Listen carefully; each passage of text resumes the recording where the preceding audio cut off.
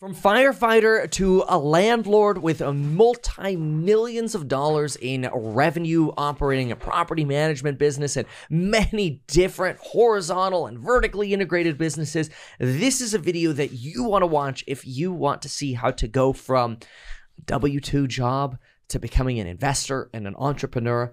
But also, if you're interested in where to make money in real estate, here's how Peter is figuring out how to make more money with real estate. Let's go. Welcome back to another episode of the Meet Kevin Show. Today, we have Peter of Rincon Property Management here. Now, what's amazing with uh, Peter's story is that, and I want you to tell the story, but let's just put it this way. You went from fire captain to the best property manager I've ever seen in the world, and you're a real estate investor, and you're a father of three. You got to fill in, fill fill in here. How did this all start? Because it's really inspiring. It's really amazing. Wow, yeah, I don't feel like I, I live up to all that, but um, so I'll give you the quick version so we Yeah, can talk about it. some other stuff. But so worked for the fire department, figured out quickly that like you know I needed to have an alternate income source, passive income, real Is that estate. just because you hit sort of a ceiling of, of like what you could make even working hour time no, or I ranking? Think, I think it had more to do with like I've always been kind of a serial entrepreneur. Okay. And working for the government was a little challenging, right? For from the perspective of I like to do my own thing and Control versus bureaucracy. Yeah, okay. and and and you know when you're young and you're like, oh, the fire department, be a firefighter, that'd be super cool, and and it was, and it was a great job, but eventually like the the entrepreneur side of me was like okay this is interesting fun i don't know if i want to be here for 30 years doing this type of a thing so so you that made was it to captain. yeah yeah yeah over yeah i did which i mean i don't knock the fire department it's a great job great career great bunch of people but just ultimately didn't suit where i was going so Personality wise, like you had to have that that entrepreneurial outlet. exactly yeah And, you I've were doing always- both for a while. You started your entrepreneurial side hustles while you were at the fire department. Oh, absolutely. Yeah, yeah. So, So tell I- me about I- that. The the first thing I did was I started investing in real estate, out of state real estate. Oh, where'd you buy? Nashville, Toledo, a little town called Bonner Springs in Kansas, Wow.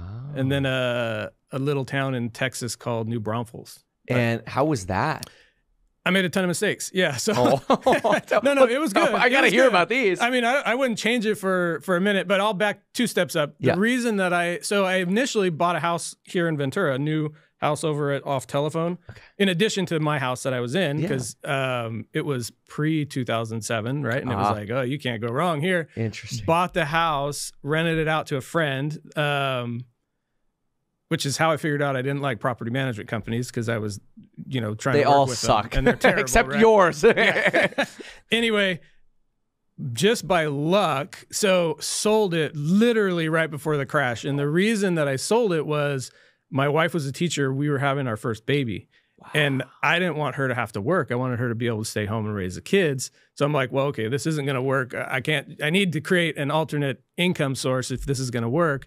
So that's why I sold the house in Ventura, leveraged it, over leveraged it into, I think, 10 or 11 units um, in multiple markets, which was a, a mistake for sure, oh my god. in the hopes that I would produce cash flow to, to, to keep her at home or Yeah. start to go down that journey. Well, Sure. it was all good until the Great Recession hit, which literally, like, as I was closing these properties, like the market was turning and uh def- i held on i didn't like go bankrupt or, or lose it all but i mean it stopped me from like my forward progress because i was hanging on on the whole way down versus buying more like i compare it to a, another firefighter i know who started real estate investing right after the great recession and he never stopped and he's he also has since left the fire department early but he has you know a ton of units and th- just a difference in timing Ah, what, and then that's not why he was successful and why I wasn't, but just two different scenarios. And so, anyway, long story short, that's what got me into real estate. If, was it useful to have that firefighter salary, that W two, to Oh. buy your real estate? So absolutely, it. I mean, it well, and then having the firefighter salary and starting a business Yeah. is an incredible opportunity because I literally started a business that I did not rely on at all. Like Mm. whether it made money, lost money, it didn't matter.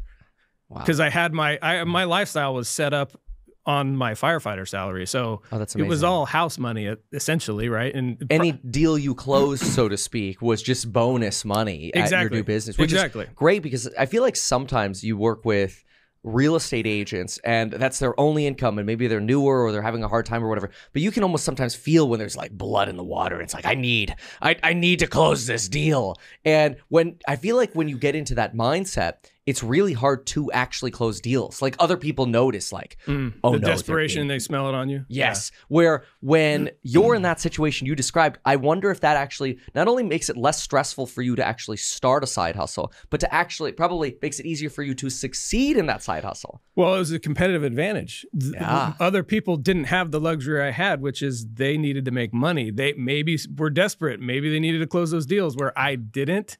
And then I it allowed me also to like go undercut the market. Like I started the management company vastly priced way below my competitors, which in hindsight I don't think was the best idea, but it, it is what it is. But I was able to do that only because I didn't need to make money in the beginning Right. which is not normal. Like that's not how most businesses start, or, or you know, small entrepreneurial hustler type businesses. So Yeah, no kidding. You're usually trying to get every penny together just to survive in the business. just to pay rent or mortgage or whatever. So that so yeah, that was in 2012 or 14. I'm- That's when you started your foot- management Which business. is when I started the management Why business. not real estate sales? I didn't know anything about. I mean, I was young and dumb and had no idea really what. Like I don't know. Like I don't have a good answer. Do you but- think in hindsight you would have gone sales and management maybe or just or you like management? So part of the strategy with management only was to entice realtors to refer to their clients to us. This Did that work? Yes and no. Okay. Th- this is a hotly debated thing in the property management industry. Like yeah, yeah. you should have sales, you shouldn't have sales. It Right. depends on where your clients are coming from. I think I think if I had to do it all over again, I probably would have done sales sooner. Mm. And and sales is possibly on the horizon in the future. I just currently don't do it. Now we have referral partners and like if I go start selling, I'm basically going to blow up those relationships kind of, Right. which But there's as- the risk of that at least. yeah, or the yeah, if you don't delicately like maneuver the best way. I mean, you know, you were in the business. Yeah. Pe- people, property management companies, steal listings from realtors. Well, of course. I mean, the the, the seller just by default is dealing with the Yeah. manager all the time, and so when they need to sell, the first thing is, "When's that lease up?" Yeah, Oh, why are you asking? Oh, thinking about selling. Well, yeah, you exactly, know, exactly. Why don't I help you with that? Yeah, yeah, yeah, yeah. I mean, that's. But then, then you wonder, uh, is that is that also strategically, a, a, a, you know, a 10x revenue opportunity? I don't know. So the argument in the industry is Yeah. you're foolish for not selling. So you can still keep your integrity and protect your referral relationships. Don't take those listings, Right. but you're giving up so much money Yeah. by not selling. Sure, So- because I mean, if, if you make you know 150 bucks a month on on a property uh, for property management, you've got to manage the thing for like 10 to 15 years Mm-hmm. to compare to a commission check. Yeah. And then I mean we there's still we get a referral fee, but it's not the same. So then I was negotiating like better referral fees that I could pull off, which was helping. Yeah, Um, so I guess it it depends. It it's just depends. it. Yeah, The, the reality is is like where are you going to focus your efforts in your business? You can't do it all. yeah. You have, exactly. and then you just like laser focus on something. until you, until you wire it, and then go to the next thing and the next thing. And oh, that's an interesting phrase. Until you wire it. So do you feel like you've wired your property management business? so the property management business. I don't want to say runs completely on its own, but I almost feel like I'm not needed there most of the time. Right. So like we have a leadership team. We have How many people do you have now? 13. Yeah. 13? 13 and half of them are remote. How many properties are you managing? Coming up on 400. Wow. I remember back when it was you and one person in that old Mm-hmm. tiny little- Remax office. Yeah, in that little closet The- office yeah. that we had. Yeah. I mean, it was like 80 square feet. yeah, literally. Well, that's amazing, My though. closet was bigger. That because uh, that's actually so cool. Like that's that's so inspiring. Because like here, Morecambe Fire Department, you're starting. You start small, uh, hire one person. You you grew it to 13 people and 400 properties. Yeah, and th- so I mean, my other strategy is well. Let me back to your question. The the management company is dialed. There's workflows and automation and processes and AI. a little bit. we have sales, marketing. We have all the functions of a business, and it pretty much runs like a top. Like doesn't mean there's not problems occasionally. There Sure. for sure are, but it doesn't take all my attention. My strategy now, it, I'm basically vertically integrating all the other businesses that surround property management. Ooh, so what else? two years ago, we started a contracting company, No. which I know you had a rough, rough go with. no. Okay, you have to tell me about this. Yeah, so it's called Quick Turn Maintenance. It's a licensed no. licensed contractor. Uh, we have two uh, on staff handyman technicians, and then we sub out the stuff that we don't do. Is this for your property management? Correct, Are you doing remodels for other people? Not currently. Okay, yeah, that's that's the danger spot. yeah. So so we so the contracting business survives on our portfolio that we already manage, Yeah, which yeah, yeah. essentially we are the only customer of the contracting. But see, that's business. great. That is actually a very delicious style of like contracting because now you can do, you could have uh, the correct workers' comp, you could have the correct insurances, the general liability insurances, you could pull the permits when you need them, you could do the work you need to do. Finding great handy folks, that's hard. So having that is a good edge. Yeah, and they I mean it's all about control, right? Construction Yeah. people are they're difficult. It's a different breed of Oh, people yeah. as you know. Um so that so we're doing that and it's funny you say that because like we've again for like the first 2 years worked out our systems and processes, made sure we had it all kind of figured out. Yeah. I am anticipating turning around and facing the public. Yes. Yeah. Not that- like Joe homeowner who wants to call to have his toilet fixed, but more like other property management companies or our realtor referral partners that we potentially could do some work for. So Don't you're do it. shaking your head. Don't do Let's it. hear it. Don't Let's hear it. it. Let's hear it. if you're going to go do, in my opinion, the the like, oh, we'll do this remodel for you. You got to go expensive. So we're not cheap. We're actually really expensive. Yeah, but I don't think then you're going to get like the realtors and the maintenance people who want to hire you. Oh, gotcha. Yeah, that would be the the risk there because you know how it is with realtors. They, if it's not done today, they're pissed at you, and that that's that's almost more risky for branding, in my opinion. Could be wrong here, but I think if you can, if you you know have a, a you know sort of a briefcase contract thing where where you become this, hey, well, we'll do your eighty thousand dollar kitchen and bathroom remodel. Mm-hmm. There's so much extra margin in there that you could sub stuff out. A lot of stuff you could sub it out, have your people fill in or coordinate the job. That's where you can make extra money. Going doing a uh, you know the maintenance for the realtors that makes me nervous. You mean like little like here's the two uh, three item punch list and it needs to be done in two hours? Is that what you're I mean, like, what, yeah. I mean, I guess, I guess, are you tr- can, trying to create it as a loss leader to get them to use you for property no, management? no, no, no. So,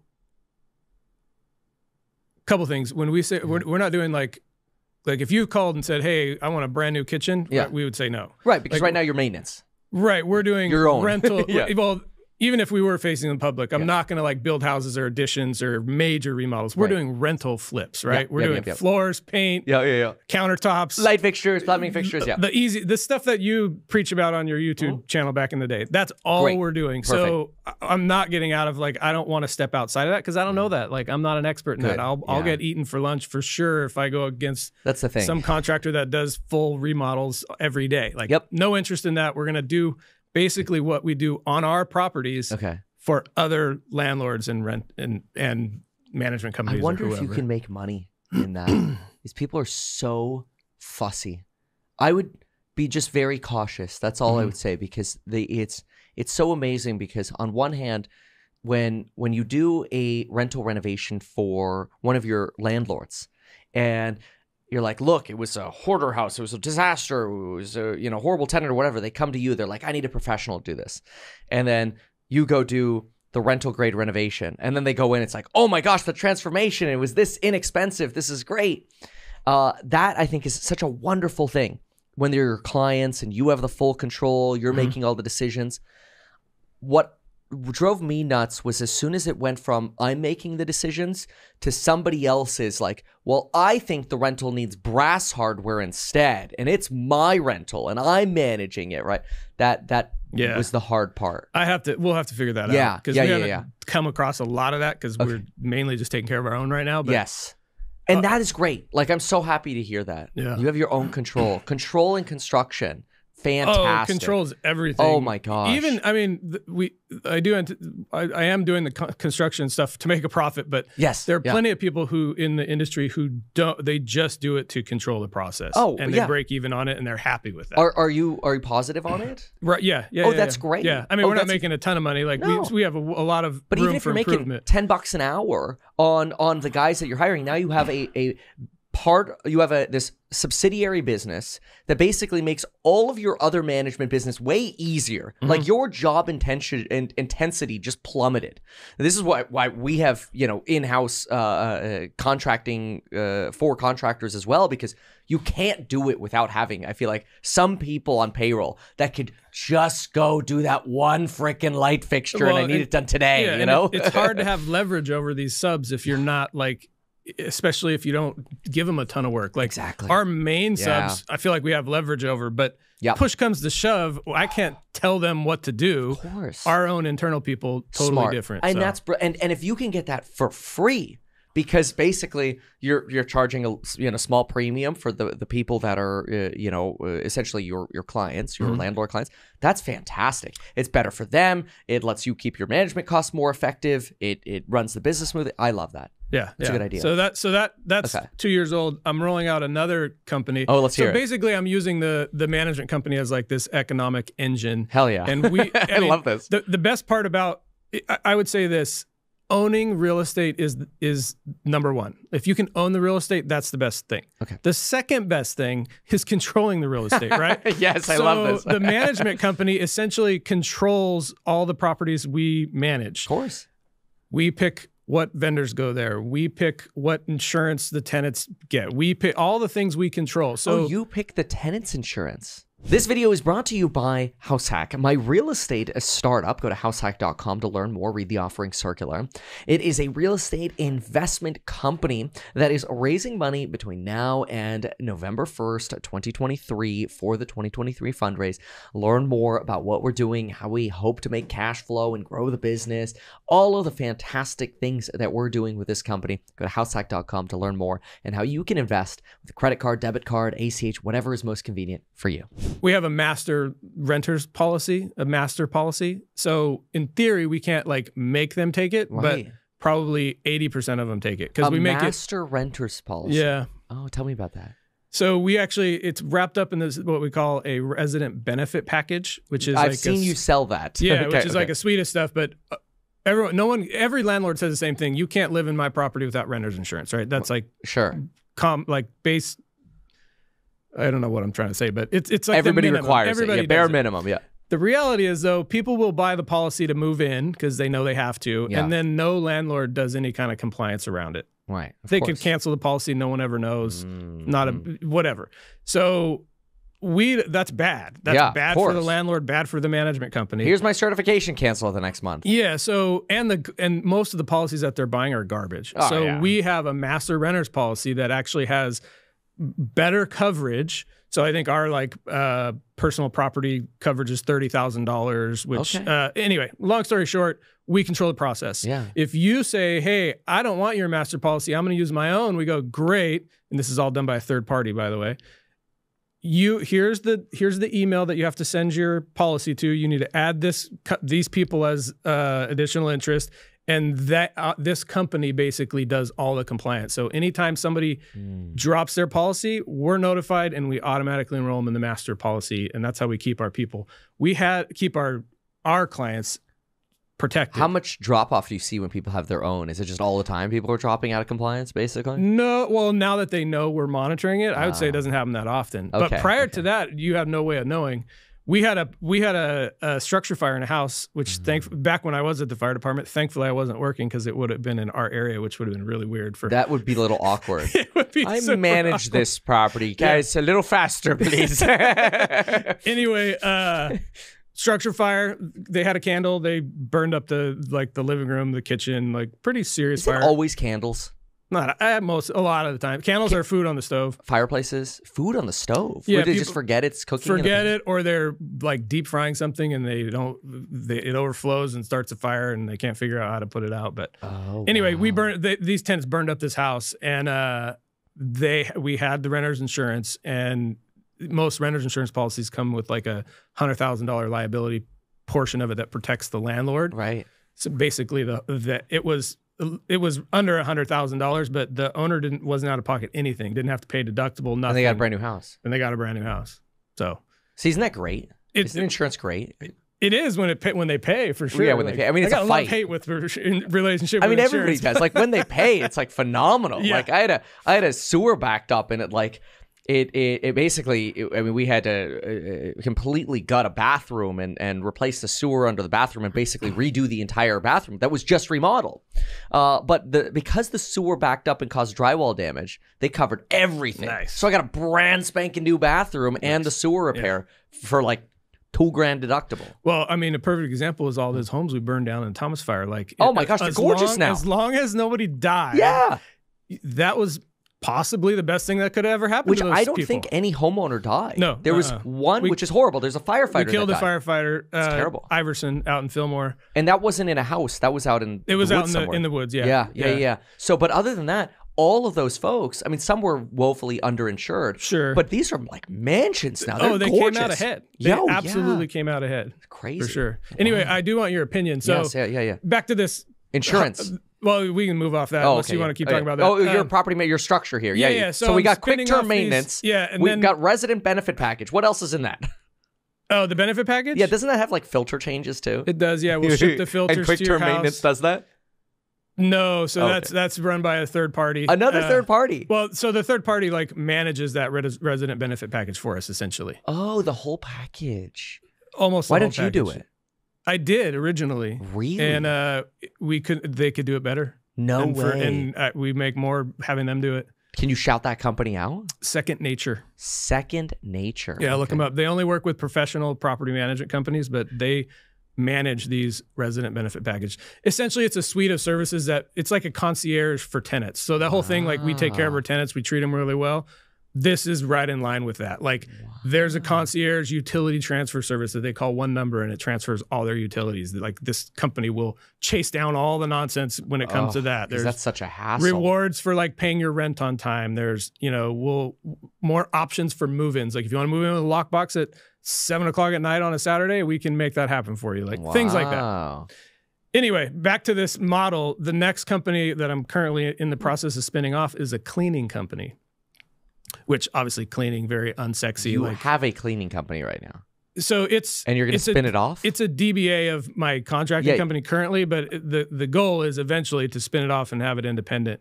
So Ah. it's cleaning our properties, which is like the easy. That's nothing exciting about that. But where I'm, what I'm doing with it is, and this is where I'm interested in your opinion, yeah. Is getting into the short term space. Yeah. So not, I mean, every I clean- knew where this was going. Every every cleaner wants to do Airbnb cleanings, right? Because it's obvious. It's there's a lot of them. They happen over and over. and it's repeat. the guests pay It's- the bill. I feel like the best type of of uh, cleaning gig is not that gig where they call you once a year and it's like to clean. It's like I'll be here for five minutes on this one spot. You know, like the best kind of clean is you're there every week or twice a week, and it's like clean.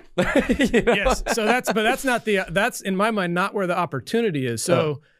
it, it, what what does a professional short-term management company charge? Oh my gosh, idea? 30, 40 percent. Okay, a lot, right? Yeah, Like, yeah, oh yeah. Let's just call it 30%. Yeah. And if you're out of the area, Oh, 50. no, yeah. Well, I mean, if you're out of the area, you don't really have a choice. Like Yeah, you yeah, either yeah, you either married to your phone and having to chase down all these vendors. It's a job. It's a job. People right? forget that short-term rentals are a job. You know, I see that like on social media. It's so common. People are like, "Oh, I make two hundred thousand dollars from social media for from uh, short-term rentals." It's like, okay, well, you're working ninety hours a week, you know, Yeah. being a concierge. Yeah. So if you don't want a job, but you still want to have a short term rental, you have to put a management company in place who's going to take 30 or 40% of the revenue, Right. right?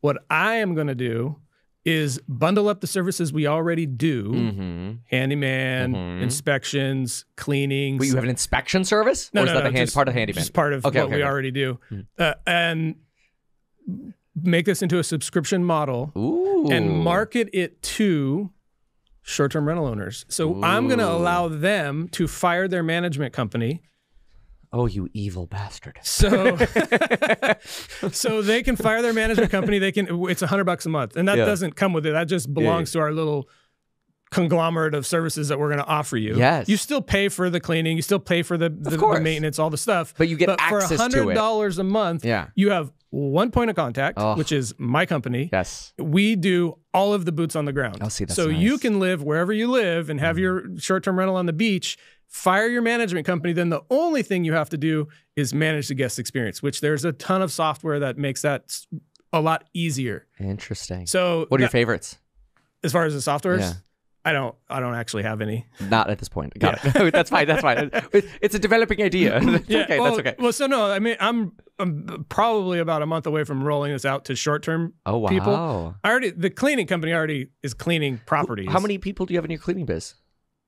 None. We, so Oh. the yeah, I mean, it's, other than the people on my team already, Uh-huh. there's no like I don't even have a full time cleaner Oh wow. employee, but it's okay. I have all these subs that do oh, all you the just cleaning sub it out for now. For now, people that we have relationships with Yeah, yeah, yeah, already yeah. at the at the management company, Wow. right? So I'm literally rebundling services we already provide exactly. And offering it to it's not going to be for every short-term rental owner No, but no, the no. ones that have a real like be in their bonnet about paying 40% of their money to a management Mm, company yeah. who then the management company does a terrible job Of course. Yeah. who they can then solely focus on making that guest experience good getting the reviews all the things that you got to do right. to It's own you're, a you're removing one. all the pain is what you're doing. Yeah. Well, a lot of the pain. They they could deal with the customers is what you're saying. Yep. But you're gonna deal with the cleaning, the maintenance, and and the property basically the the hard stuff if you're not in it. In it Yeah. Oh, that's is- really interesting.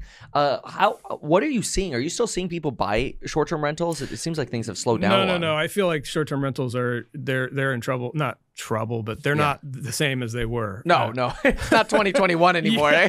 yeah. In fact, um, I, I was talking to someone the other day. The city of Ventura is starting to enforce some of their short-term rental regulations. Like they they've had the law for I don't know how many years. They never enforce. they never enforce Yeah, it. yeah. Well, they're starting to enforce it, oh which darn. yeah, which is you know going to hurt some people more Of than course. likely um, because there's a lot of people who are doing them illegally. Oh my right? gosh, are they gonna sell? Is, or- or- I don't like- know. so we're we're targeting those people who potentially are going to go, okay, yeah, this ain't worth it. I'll rent it out long term. So that's an opportunity for the management company. But yeah, it's not like it was. And you're probably I've seen some of your stuff. You're you're more in tune to that than than Well, I, I mean, who knows, right? Uh, the uh, the end of it all, it it, it seems like.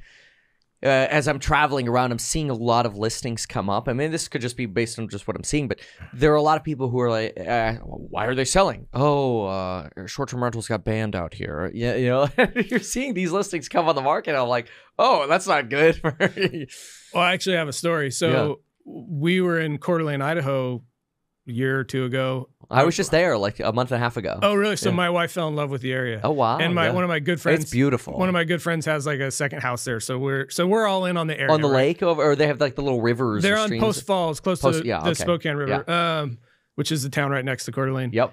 She falls in love. She's like, I want to be here. We yeah, that's a- closer to need a- Washington. yeah, yeah, yeah. we need a place here. Like, I'm like, okay, yeah, this sounds interesting. Like, start looking around. Oh, I mean, it's a destination for that area, right? Uh-huh. Like, okay, I'll let's buy a place, and when we're not Yeah. using it, we'll short term rental yeah, because people come over from Spokane and even just vacation. Yeah, and uh, so I start, you know, get on AirDNA, start doing all my due diligence research. they're I'm like, expensive, man. I'm like, this is something's not right here. Like, I can make this thing work tomorrow. Like, it would even cash flow with us using it part of the time. No. So I'm like, okay, all right, let's start making some some lowball offers, right? Because Yeah, yeah. I mean, Idaho's like, you know, it's where everybody went during, During the pandemic. During and now COVID it's where everybody's leaving. So like I'm like, we'll start lowballing these people, see what happens. So got one offer, got an offer accepted, and I'm like, okay, all right, I let's I'll keep doing some research. Like I'm like, why did they accept my offer? Anyway, yeah, I know, dude. It's so funny. You just said that. That line right there is so a real a real estate professional. When when you write an offer and then they take it, you're like, I overpaid. or something's wrong, or yeah, yeah. Wait a minute. some. I was not supposed to get that. Anyway, so I start digging in more because Yeah. honestly, I didn't expect it to happen so fast, right? Start digging in more. End up connecting with this lady who owns a property, uh, short-term proper short-term management company. Mm. I go, hey, I just want your gut opinion here. This is what I'm doing. This is what all the data is telling me. It doesn't seem right. right. She goes, it's COVID data. It hasn't flushed through the system. She goes, take what you're seeing, cut it in half. Oh. And that's what your real experience is going to be. And right then I was like, okay, enough said. So then she gave me the background, like, which is to your point. Pre COVID, there was like 350 short term rentals in that whole area. Mm. Blew up to like 1,200 during Oh, COVID. 4x.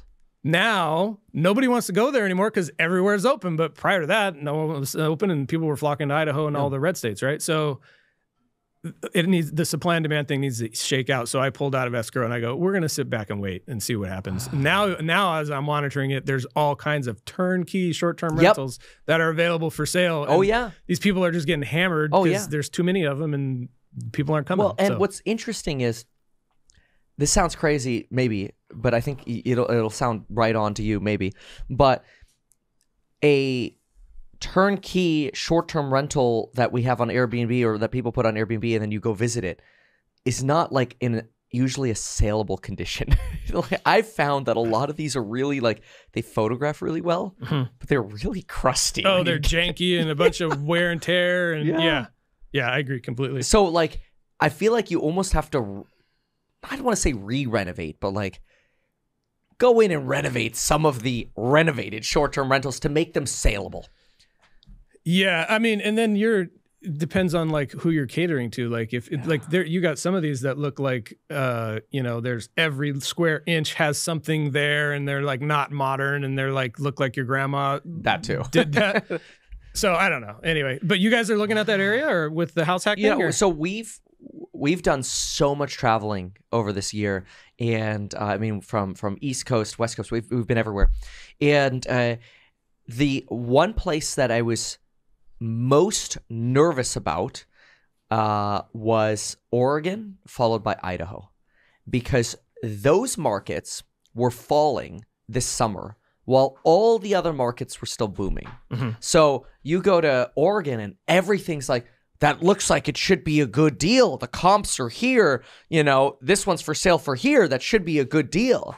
But that just kept happening. So we, we, we never ended up even writing offers because we're, we we saw this this.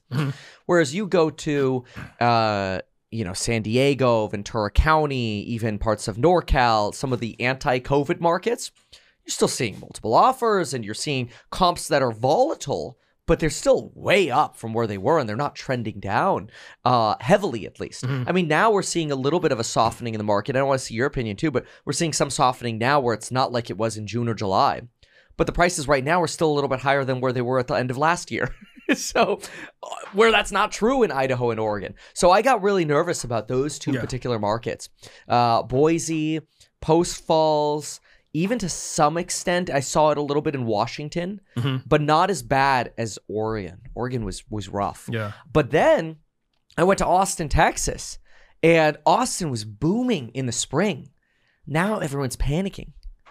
So it's it's a weird time. Yeah, What I- do you think? What do we what do you see? So I don't have any expertise on the sales side. I definitely am pretty tight in on the rental side in our area. like what are your seller or your owners saying? How do they feel?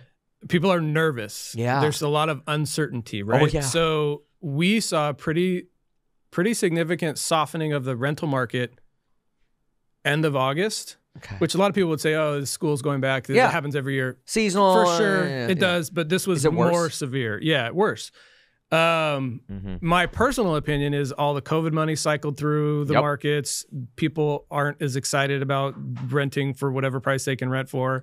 Um, people are, you know, families potentially are contracting, like moving in with parents versus the opposite of what was happening, right? Right. Um, there's unknowns with the economy. Like most people aren't experts in the economy and have the crystal ball. They're It's just like, insane, I don't know what's happening. I'm nervous. I'm not doing anything. Yep. I'm not going anywhere. Yep. So we saw a pretty significant increase in days on market, and then we started seeing uh, rent prices, move-in concessions, those types of things coming down. And see, how do you handle this when you're comping rentals and the comps are, you know, doing one to two months free rent? Yeah, how how do you comp this? Because sometimes that doesn't actually show up in the remarks, but you know what's happening, or it shows up in the remarks, but you do a rental survey in a market like Phoenix is like famous for this. I mean, I, I look at the Phoenix market and I'm like, oh, starting in January, they're starting to do one, two months rental concessions. And I'm like, okay, well then a $2,400 a month property is Yeah. realistically like 2000 a month. But you do a rental survey and you just do the class. I hate it. I, I ask agents, I'm like, oh, send me the comps. I look at it. They just send me the one-liners. Like the one line of each, uh, and, and then it's see the average rent is twenty four hundred. I'm like, come on, this is bullshit. like, Mm-hmm. Yeah. let's get the Yeah, actual yeah. data right. Then you look at the data, it's like rental concession, rental concession, rental. How do you comp? I mean, do you, are you just comping against the stuff you're renting and what you're feeling? No, so I don't. I, I would say I don't have the analytical talent that you have. Oh, but we we comp on our local market knowledge. We absolutely look at what the other properties are doing, but Sure. really there's a certain amount of um, feel to it, right? Yeah. Like, and the conversations we have with our clients have changed completely. It's no longer, you know, COVID, you could take a picture of the dirt and put any price you want on it and it would rent in two days.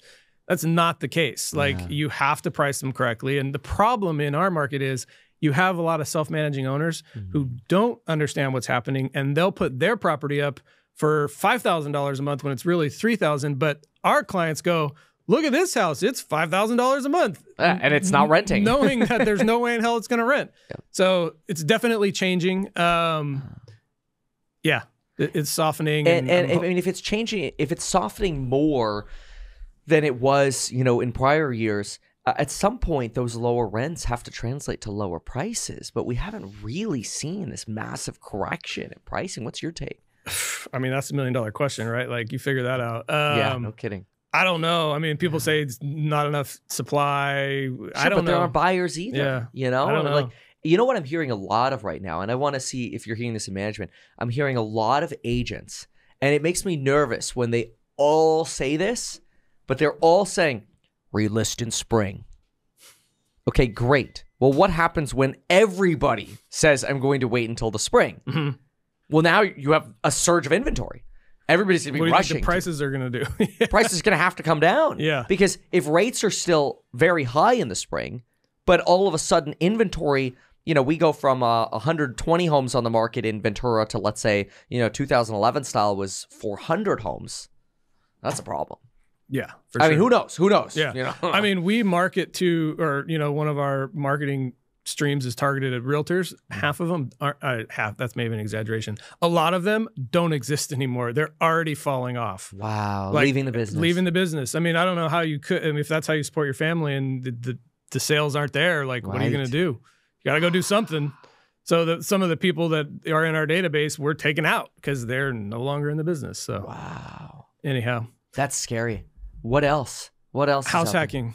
Oh yeah. So you are going to have this is yet another side of your business. So this is just The a, part of the management company, not, not a new business. I guess. Yeah, that's a, a, new feature of the Yeah, uh, existing. thing. yes, yeah. Uh, so traditional house hacking, not to be confused with househack.com. uh, traditional house hacking, you are going to help owners rent out other parts of their homes. This sounds like a nightmare. Yes. so yeah, so one of the things we believe in our in, in at Rincon is like uh-huh. everyone deserves the opportunity to be financially free, right? Okay. So we found that that wasn't actually true. Like in as you know the Ventura market very well, like we don't have a lot of people running around buying properties that cash flow and buying, you know, multiple properties. This isn't Cleveland, Ohio or, you know, Kansas City, Missouri, right? Yeah, this yeah, is yeah. a high dollar market. We don't have a lot of those intentional investors No, you buy like one or two, like that's already a lot. You yeah. know, yeah. So th- it, the whole financial freedom for our clients in our world was pretty much reserved for people that already had assets or bought properties a long time ago. It wasn't really translating to younger generation coming up who are interested. A lot of your course members, people who are trying to figure this stuff out, Sure. right? So that didn't sit well with us. We're like, uh, okay, this is our why, but it's only our why for like the top 20% of Ventura, right? Right. So that's kind of that's kind of BS. What can we do? Well, obviously, everybody knows the best way to buy a house in a market like ours is if you're willing to be uncomfortable and house hack. Well, the problem is a lot of people don't like to take action or they're fearful of tenants and managing or or financing all the things that you got to do to do that there's a lot of fear wrapped up in so we were like we can help these people manage these house hacks it's not that difficult the number one thing is it's a management nightmare you got a bunch of tenants in a, in a property it's going to be difficult they're going to fight they're going to have issues Oh well, because you had that with. I'm imagining. I, I should let, let you mention, but you said you bought units in Nashville, Toledo, Mm-hmm. Bonner Springs. How was managing units? It's it's probably it's more work yeah, Yeah. and i wasn't self-managing just for the record Oh, that's right. That's where you hated managers. yeah yeah Got it. Oh, okay, okay, that and locally um, okay. so yeah, anyway, okay, okay. the the tr- the reason why no professional management company wants to do this is because it's they're afraid of of the tenant interactions and having course. all these things, right? Well, our business is very organized, very process driven. I'm not afraid of that. Yeah, Even if we brought on another remote worker whose job was to make sure these tenants were happy and deal with the issues, mm-hmm.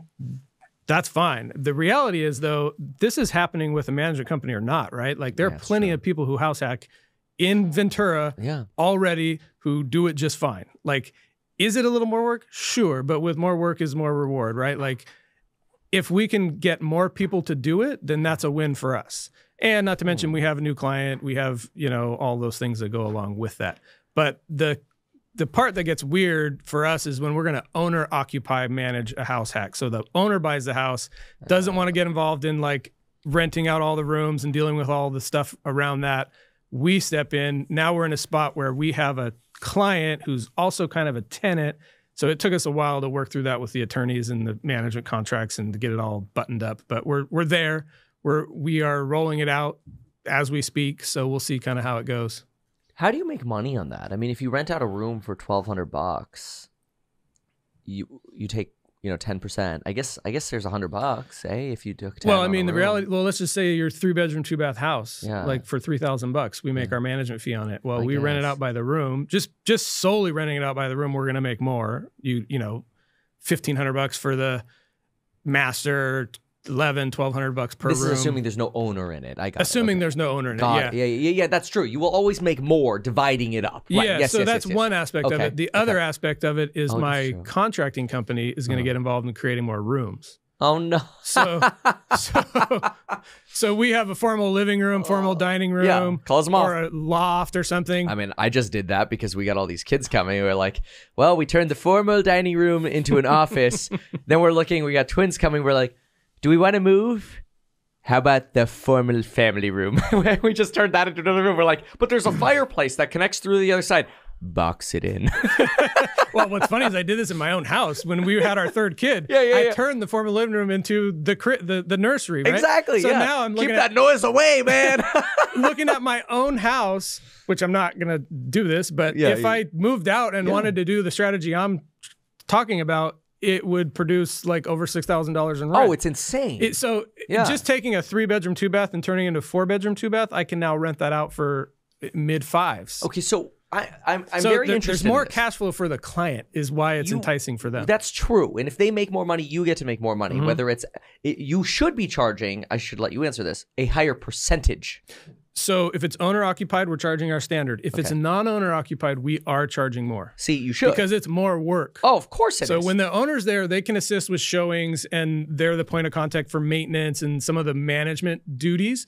They're essentially assisting with just because of the fact that they're there. This is really interesting because you're going into this environment of that COVID money being exp- or expiring, Mhm. evaporating. And by and rent's gone up, you know, 30, 40% over the last 4 or 5 years.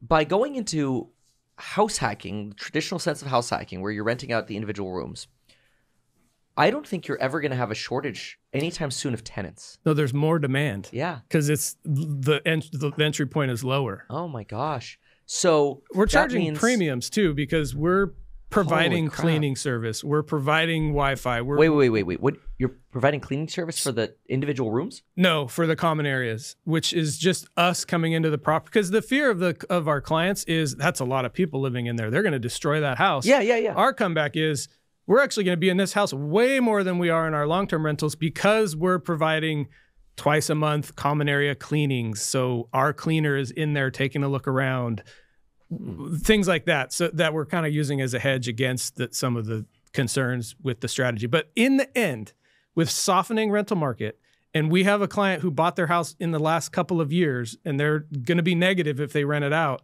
This has the potential to push them over the edge because if we can show them, hey, we can get you 20 to 40% more rent with this strategy, that might be enough for them to hang on to it versus sell it. So I feel like it's a win win. Um, we're excited about it. I actually 100% agree that demand for this cohort of tenant is going to skyrocket because I I think there's still and we know this, I mean there's fact around this too, but I think people still have this this higher feeling of net worth because of all this the COVID spending, but it's tapering. You know, whether it's the market or it's just spending or whatever. And the I think there's a very good chance you, you end up seeing way more people going back into these shared living environments compared to renting their own property. Just because everything around us has gotten so much more expensive. Even if inflation goes to zero today things are still 30 to 40% more expensive than they were in 2019 so now you have more demand for these properties. Uh, you can help owners make more money because they're going to make more money renting out the rooms. The question is the management intensity, but you're actually solving for the management intensity by basically living there yourself with your your vendors, right? Your vendors are there because you're sending in your cleaning service twice a week, once a week, Twice a month, I think, is what. twice a month. Okay, at, yeah. so your cleaning service is going in every two weeks.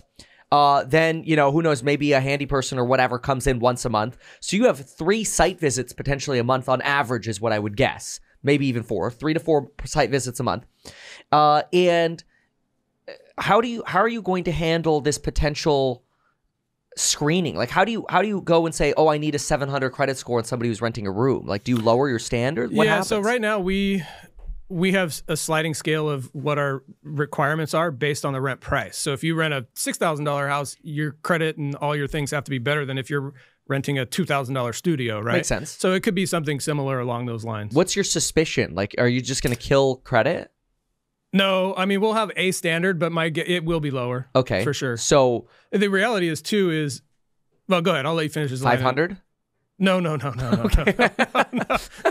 Our lowest right now, absolute lowest, is six forty. Okay. Oh, that's So- like FHA. you- you Yeah, know, I uh, could see maybe a little bit lower than that or something. Really? I, haven't, Okay. I haven't like worked it all out. No, no, but that's there fine. are two. There are. You heard of PadSplit? Uh-uh. PadSplit is a, a venture-backed company that's doing this in other market, not in our market. But their argument is they. I don't know if they disregard credit completely, but it's less of a factor in their criteria. And they have like I think a 97% collection rate or something. I don't know how accurate their data is, but the argument is made that it doesn't matter as much. Not to mention with the political environment we have in California, Yeah. I wouldn't be surprised if credit score as a requirement goes away completely. Um, hopefully, we're, that doesn't happen, but it wouldn't surprise me. it would create certainly some more challenges. I wonder if if because what I'm seeing in some of the markets where they've gotten rid of credit scores is they still allow you to run a credit report, which that's actually what I care about more. Is I want to see the history. Are you paying your freaking phone bill? You know, or Yeah. like stuff like I want I want to see that payment history. But if they completely disallow that, I guess what you'd have to do then is send me your last 12 uh, statements for your uh, phone bills and stuff like that, you know? The other piece of this that's good for the client Hmm. is we now have a single family house that is op- that is performing more like a multifamily unit. Yes. So you're not going to have the turnover where you don't collect rent for a month and you have $5,000 to get it ready to rent. Hmm. That's not going to happen because not everybody's going to move out at the same time. You're going to have one turnover, which the worst case scenario out of a room is you replace the carpet and paint the walls, right? Like not anything compared to you have to do that for the whole house. So it's going to stabilize the cash flow for the client, which Do you think you'll have more evictions? I don't know. Yeah, that I think as long as we follow our screening criteria, that we're going to be in good shape. Like, I mean, if I look at our eviction record right now, Mm-hmm.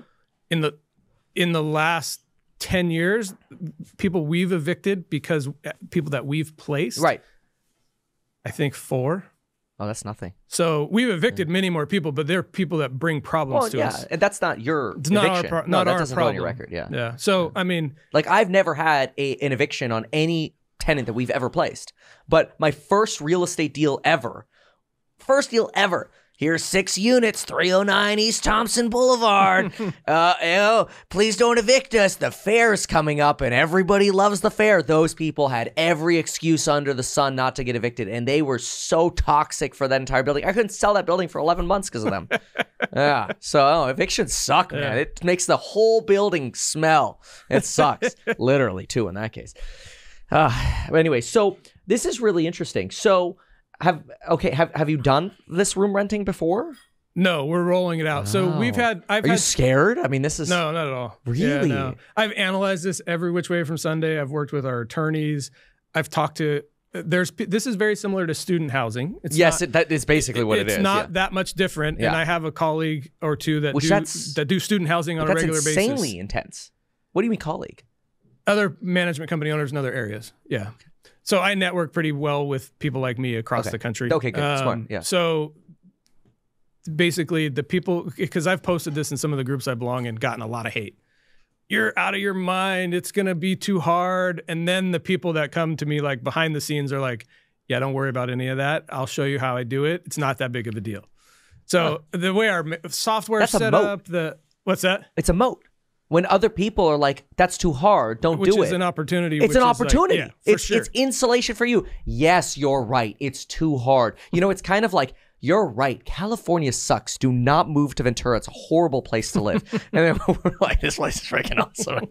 Yeah. Oh, that's interesting.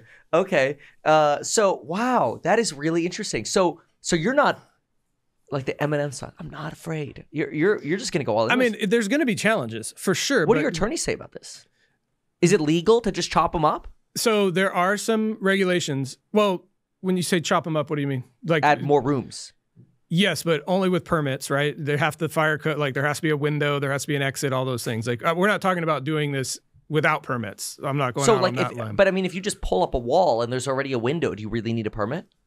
So the reason I want the permit Yeah. is for a couple things. Yeah. One, just the CYA, but two, I want the public record to change. So if this owner, our client in the future, refinances, sells, reappraises it, now instead of a three bedroom, it's a four bedroom. But you're not getting paid at all for that oh. work that you're doing. That like oh, to, oh no, we absolutely are getting paid. The, the, to my pull the permit.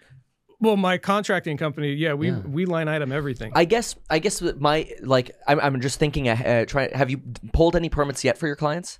yeah, uh, well, for the contracting side, sure. Okay. yeah. Okay. How do you uh, deal with the, uh, you know, oh, here comes the inspector, and you're pulling an inspection for, you know, smoke detectors, carbon monoxide, uh, bedroom, ceiling fan, and there's the egress, right? Now we put the door in, we put the non non bearing retaining wall, or the wall in, whatever. How do you deal with the inspector? Hmm, new windows. We'll need a permit for that. Oh, look at that new water heater. We'll get one for that. Oh, you guys uh, have an addition here from the 70s. You know, I don't see that on the record Yeah, here. Let's yeah. get a permit. How do you deal with that? I mean, I will say this: this happened to us on our last project. what in- are you up getting in into, Ohio, man? It wasn't a big deal. you got to tear down additions sometimes. Yeah, well, in this case, it was the the the inspector was didn't have it figured out because he's like, yeah, that's not permitted. I looked.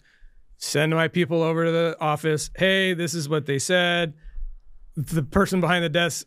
Oh, actually, that was permitted in 1955. Okay. Here's the permit. So you got lucky on that one. Got lucky on that But one. But you're going to get sent to that office there's, all the time. There's risk here, and like if if we well, one, I don't actually manage properties if there's like known unpermitted structures. No, that makes sense. But I'm, I'm thinking like, do you need a permit for a, a, a non-load bearing wall? I don't think you do, but if you're Yeah. gonna mm. put like electrical in, I guess. or yeah, you put a new outlet on there or whatever. yeah, And that's not an expensive permit. I guess what you're saying is, look, if you have like if you have a 2002 home with no funky additions, what are you afraid of? Like pull the permit. It's it's going to be like 80 bucks for an electrical permit and the drywall uh, and the wall. Big deal. and it's a CYA for It the is. owner and for us. Like, I don't want right. to get involved Hmm. in renting out something that's unpermitted if for some reason it was required, right? But Hmm. the regulation that does apply here is the cities have certain rules against like boarding houses, which is what uh, some of them look at this as. Okay, so tell so us about for that. example, Camarillo doesn't allow boarding houses. So in theory, you, we shouldn't be doing this in Camarillo, which you know I don't anticipate having an issue. Yeah. But there are some cities that expressly prohibit this in their codes, which are antiquated, and but that's a whole nother conversation. But And those might loosen a lot in this sort of uh, environment that we're we're uh, in, where affordability is a big is a huge issue. Oh, yeah. yeah. yeah.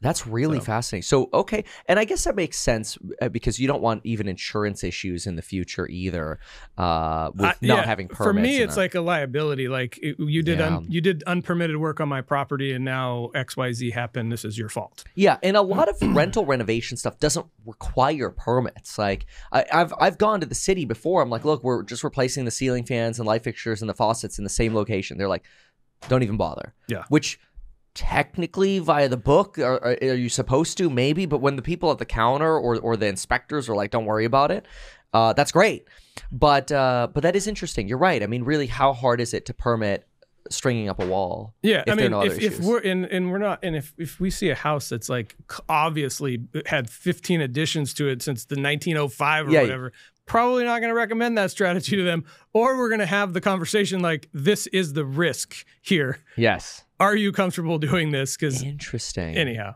So, uh, where else have you seen these? What other room rental restrictions have you seen? so as far as when we were doing our research, Yeah. that boarding house thing is the main one. That was it. Yeah, the the city of Oxnard, which isn't necessarily against rent by the room, their rent control ju- just cause measure is by the door that's rented. So Okay. in theory, these for sure are going to be covered under their rent control law. Yeah, but those are not that hard because, like, we're like that's usually like what they're trying to protect against is a homeowner moving in and trying to like remodel the whole building. yeah, it's not going to stop the someone out. strategy. It's Yeah, just a that con- doesn't it's change just a consideration, I Okay. guess. But as far as people saying no, you can't do this, the only one I'm aware of is these boarding house regulations. That's really interesting. Okay, okay, yeah, and, and I mean that's easy to find out. You just walk into the city. Oh, there are any restrictions Well, we already we talked to every city in Ventura County, and any city you invest in, you should go talk to the city. It's even just to Yeah. shake their hands. It's a great idea. Okay, wow, that's really interesting. Um, wow, uh, I never thought that a property manager would desire to do what you just said. but the problem with this is you're not just any property manager. You're like the property manager I respect and like love and admire. So like I'm like this is this is like a mind twist. Like I I'm gonna have to tell I'm gonna tell Lauren about this. She's like, what? they got to Peter? Well, the reality is most management companies suck, right? Yes. For lack of a better term. That's why we're like, what? And I have my own theory on why they suck. But Yeah. Well, tell us about that. so our the business is structured in a way that breeds apathy. So like, Yeah. You come to me, you go, hey, I want you to rent my house out. Okay, okay, I'll rent your house out. I control the money. I control when I get paid. The only recourse you have against me is you can fire me or you can like file a complaint with the DRE. That's it. So if I have 2,000 properties that I control when I get paid, I don't really care if you fire me or you you're unhappy because I have 1999 others that that do. It's backwards. If it flipped and it was like you as the client have to pay me each month and I have to invoice you, it would change the industry completely because all of a sudden I would have to really work hard for you to pay me. Oh, yeah. And you wouldn't pay me if I did a terrible job or I screwed up a maintenance thing or I overcharged you or let your tenants not renew their lease or made whatever it is, right?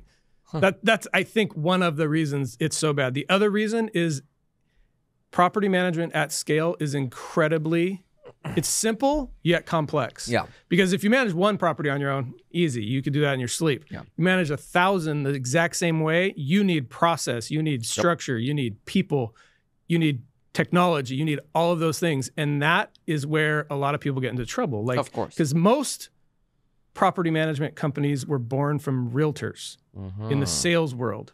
Who are who kept getting asked by their clients, "Hey, manage my property. Sure, I'll Hey, just do it for property." you. Yeah, yeah. and yeah. then all of a sudden they find themselves with a portfolio. They don't care about property management. They're viewing it as a loss leader to keep those clients. Yep.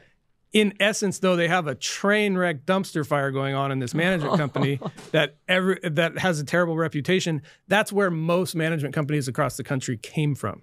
So there are like a new breed of people who are looking at it differently. Who I consider myself one of those people who are treating it like a business. Who I don't come from selling real estate. Like I don't come from any of that. So Yeah. I don't come with some of those preconceived ideas. The other one being you're a, you are a sale a real estate salesperson. You get paid your commission check Right. one time. That's right. it. Yeah. That's not how property management works. Recurring but that's how yeah. everybody feels about it. I Ah. charge one fee. I charge my management fee. That's my commission, and I do everything else as a result of that. There's no other service industry that does that. Like, try to go talk to your attorney and see if he'll charge you one thing and do everything else for you. Go Right. talk to your CPA. Go all of them. Nobody does that. If you have me working for you, I'm charging you usually by the hour. Property management's not like that. That's really interesting. So uh, so you went from fighting fires in houses to fighting fires in houses. honestly, I the the business is it's pleasant. It's not as bad. Oh come as- it's not. And I'll say this too. we don't have tenants beating our door down angry at us. Does it happen occasionally? Sure. But like Hmm. go, oh, you go look at our reviews, half of them are from tenants who That's are crazy. happy with us. I know that's Right? It's amazing. It's because you guys kill it. because I we treat them well. Yeah. Like they're no different. Wow. They they're people. They Just need a a good place with to a stay. need or Yeah. question, or it's not and that hard. they're our customer. We take care of them. Yeah. And honestly, I do that because it's the right thing to do. But the Yeah. other reason we do it is because it's in the best interest of our client. well, of course. Because a happy tenant takes care of the property, Exactly. pays the rent, all the things that our clients Uh, want. the the uh, tenant getting evicted, you know, walks around with a hammer. yeah.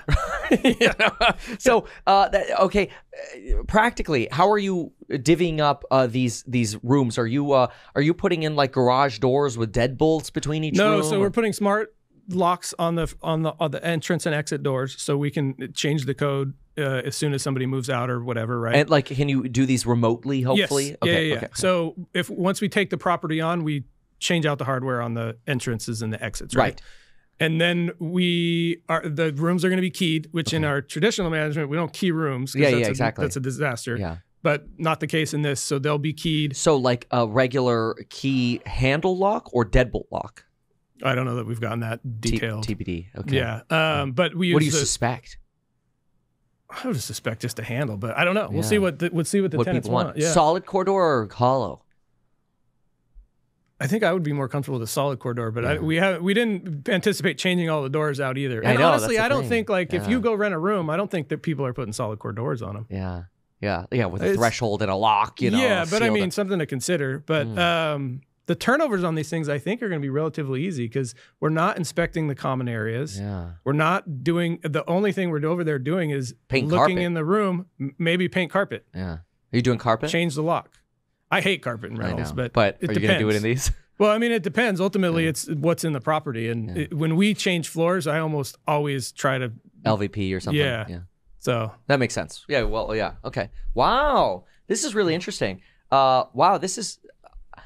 I have to say, when you first said it, I hated it. The idea, like an hour and twelve minutes ago, as I'm grabbing my cup of coffee, and and you said, "Oh, by the way, I got to tell you about this idea." I'm like, "Oh no, oh no," but now I'm kind of like, "Wow, Well, he- okay." here's the other thing: the biggest argument against it is the tenant management headaches. Yeah.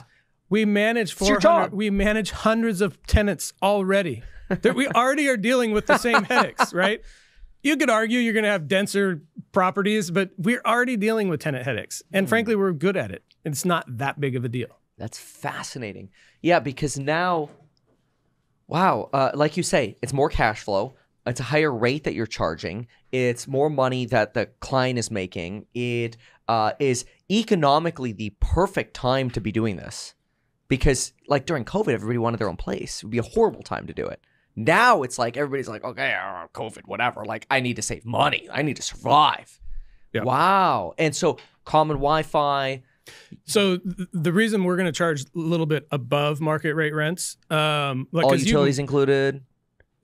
I don't want to do that. I don't want to include the utilities. I want to do a flat rate for the utilities. We also have the opportunity to do that ratio utility billing system, but I see that being like an administrative nightmare for Oh, us. because it's a headache. How do you account for that? but flat, a flat utilities. fee, like hey, for you know fifty dollars a month includes all the utilities. We do the cleaning, Wi-Fi. We, the kitchens will be like stocked with the basic essentials. There'll be furniture in the common areas. So there's a little bit of upfront cost for the client. Kind of like an in between short term and long term thing. But uh, I think if if you came to me and presented this to me, I would do it in a heartbeat. The main reason is the hard the hard people that are going to have the hardest time with this are the people that are emotionally connected to their properties. The people who are like, no, this is no different than a stock in my 401k. I just want it to produce a return. They're going to say yes to this all day long. It's the people that are emotionally connected that are going to be the ones that struggle with, well, you know, Johnny grew up in that room, and if they put a hole in the wall, it's going to be a problem, you know, type of. Where is this going to succeed the most? Does this succeed the most in like SoCal, or do you just do it in every market, or would you do this in Texas and Ohio? Well, one, I don't have any point of reference for that stuff. I only where You we're used at. to. yeah, oh, Yes. true. But I will say Yeah. there's two companies that do this, PadSplit and Homeroom, and they do it all over the. th th this is I was reading something on one of their websites. This exact objection, and they're like, no, it's basically works in every market we've ever been in. Wow. So, I mean, if you think about it, there's young people that want to move out of their house and it's all they can afford. And they go rent a room somewhere. I mean, my nieces did it. it it's super common. this is amazing. What am I missing? I don't think you're missing anything. This is what really you're cool. missing is helping me promote the House Hack Meetup because we're trying to get the word out. Okay. Uh, it's last Thursday every other month. So November 30th at Topa Topa at six o'clock. The one on uh, Knoll Drive. See, I got I got to put this on the calendar. Hold Yeah, on yeah. If you show up, oh, that'd be awesome. You could help us bring some more people in. Uh, oh, hold on. This is November 30th. Okay. Okay. Six Nothing's on the calendar right now. Oh, oh, Ooh. Uh, okay. Uh, this is the Topa Topa Brewery. Yep, on Knoll Drive because they have, they have, I think, two in Ventura. Okay, and this will be the uh, uh, Peters Ria. Is it yours or partner with it or like who who runs it? No, we do. So yeah, Rincon. yeah, we call it the House Hack Co-op, Wow. and it's only we've only had I think three, and it's pretty small. And what time Six o'clock. is this? Uh, so is this where like all the landlords get together with and smoke cigars? No, yeah, no, no. no. It- it- and who we're targeting are the people who are having a hard time buying a house because Yeah. it's expensive, Right. and educating them on an alternate way on how they can get it done. Do you know that? Uh, I, I well, I'm pretty sure of this.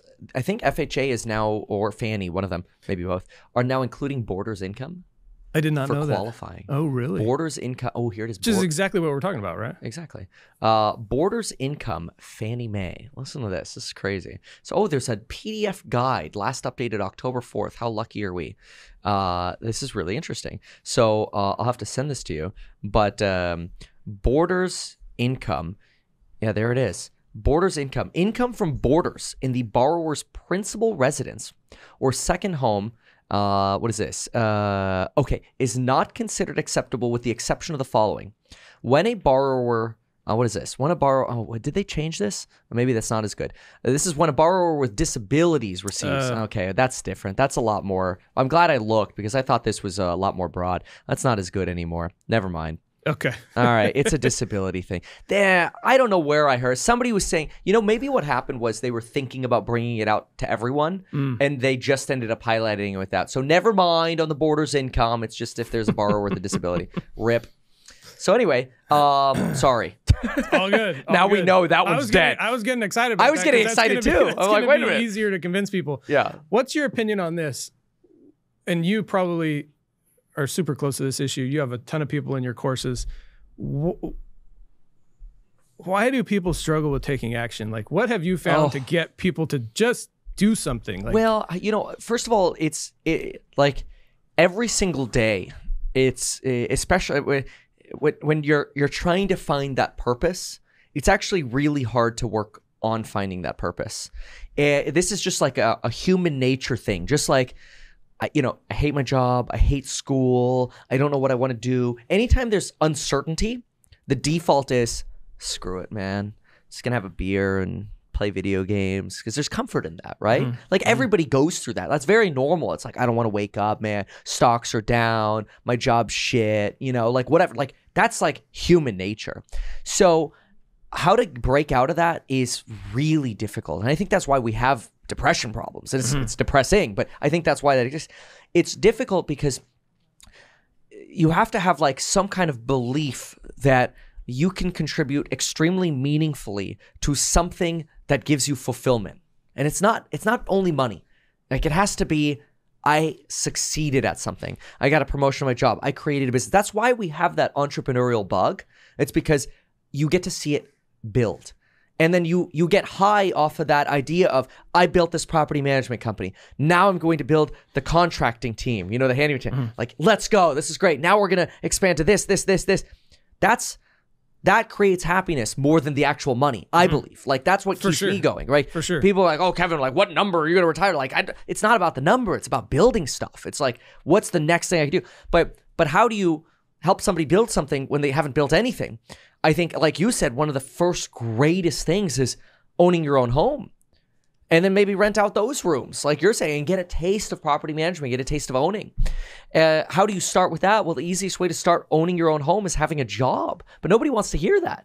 You know, the W two is so villainized. The job is so villain- villainized on social media. You know, people go on social media like, "That's right, screw having a boss," but then you stay miserable. Whereas you have a job like you did. You were a firefighter. You worked really hard at that. You took your income, which let you build your side hustles and invest in real estate.